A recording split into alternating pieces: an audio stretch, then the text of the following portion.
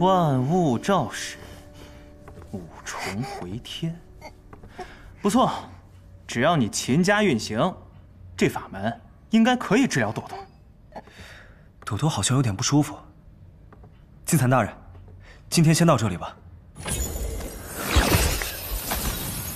出。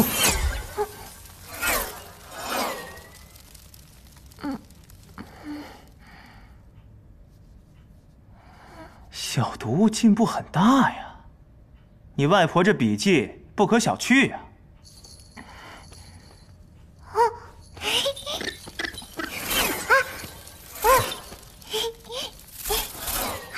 嘿，我看金蚕和朵朵的关系可比和你好多了。金蚕既然在你身上，我觉得你还是交给金石盟更为妥当。林渊会最近四处作恶，如果被他们拿走了金蚕，必定后患无穷。金蚕是外婆交给我的，而且现在已经寄宿在我的体内，我也没有办法随便交给别人。各位应该明白这个道理。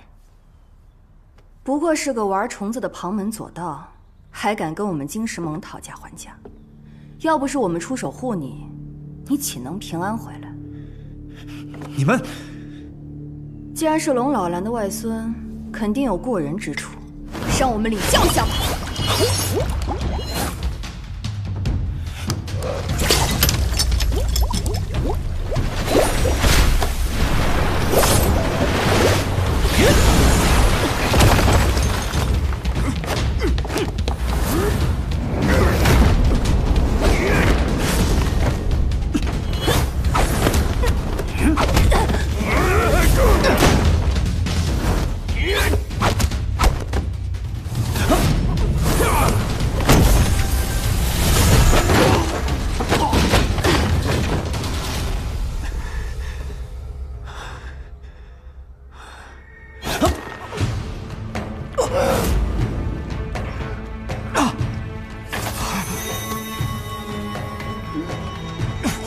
是金蚕的力量啊，果然厉害。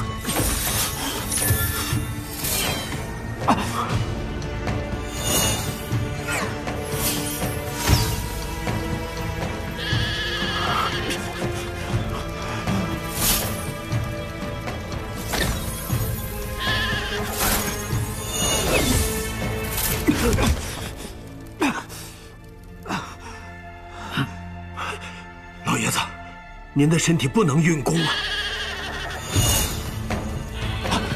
金蚕大人，快停下！啊您就是黄老爷子。嗯不错，果然是龙老兰选中的传人。